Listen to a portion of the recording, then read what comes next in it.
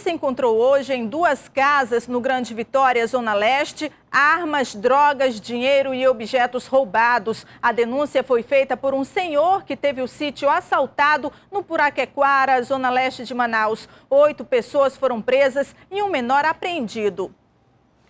Hoje, Dia Mundial da Paz, Igreja Católica realiza caminhada nas zonas oeste e norte de Manaus. A repórter Priscila Gama tem as informações.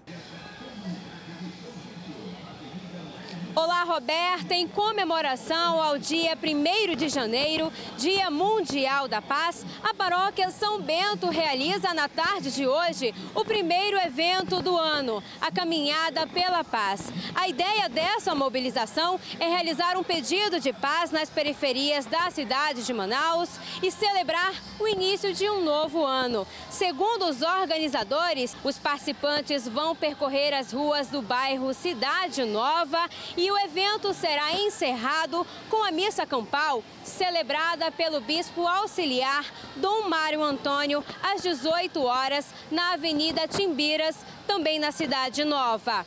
Eu volto com você no estúdio, Roberto.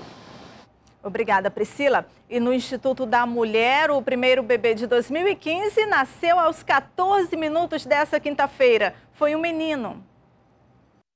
Ana Carolina deu à luz pela primeira vez aos 14 minutos desse dia 1 de janeiro.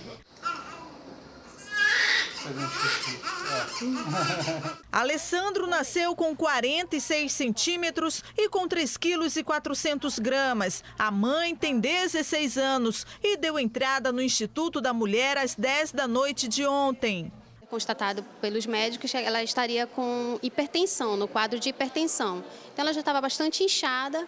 Aí foi quando realmente os médicos verificaram que não haveria possibilidade do parto normal. Foi quando a equipe toda se prontificou e ela acabou entrando no parto cesariano. Apesar da complicação na hora de ter o bebê, no parto deu tudo certo. Alessandro veio com saúde. Valdiene foi uma das primeiras a ver a criança. Abriu mão da ceia de ano novo para acompanhar a irmã. Aí eu me arrumei todinha, tava com todo com meus sapatos já para me calçar. Ela disse, eu não aguento mais, mano. Aí disse, então bora pra maternidade, vim até com o sapato na mão.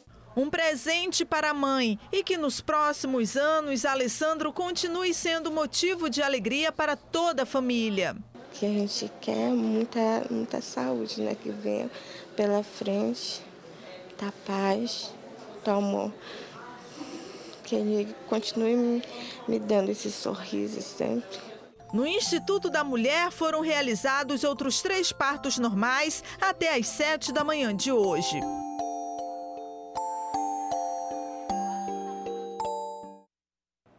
Vamos voltar a conversar ao vivo com a repórter Marquilze Pereira.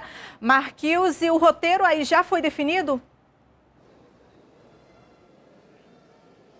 Olha só, Roberta, é noite de gala. Tem até tapete vermelho. Aqui atrás de mim tem uma porta, é por onde o governador José Melo deve entrar. Ele segue pelo tapete vermelho e depois vai ter acesso à mesa onde as autoridades vão estar esperando. Alguns convidados já estão por aqui, eles já começaram a chegar. E o tapete vermelho é para todo mundo, viu, Roberta? Mas os convidados começaram a sentar aqui, alguns chegaram bem cedo. Essa cerimônia deve durar cerca de duas horas deve depender muito aí do discurso do governador José Melo, que, como eu disse na participação anterior, ele vai improvisar algumas frases, mas também vai falar bastante das suas prioridades para os próximos anos. Ele considera educação um importante item e aí a questão das metas, do cumprimento de metas e enxugar os gastos do governo.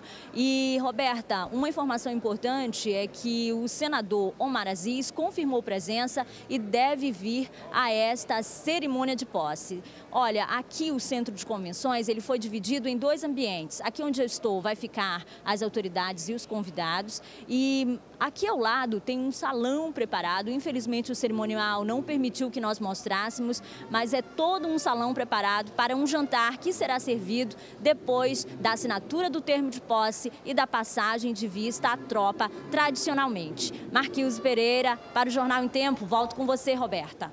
Muito obrigada, Marquinhos, e bom trabalho para você e para toda a equipe.